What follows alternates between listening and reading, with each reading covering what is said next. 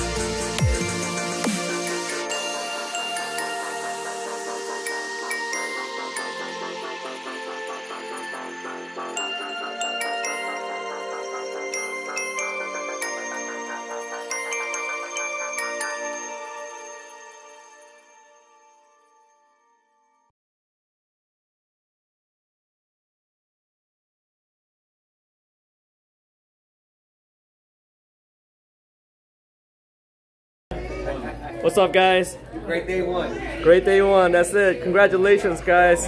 Huge success. Thank you, Richard. Thank you. Coming from you is a lot. Uh, what's up, Thomas? How are you? What's up, Richard? All right, all right. How many people you think came today? Oh, okay, I was gonna get you like Uh-oh, uh-oh. Now you're video eating cake, you're in trouble.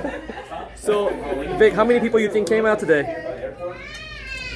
The truth? Yes, 450 to 500 easy, maybe more.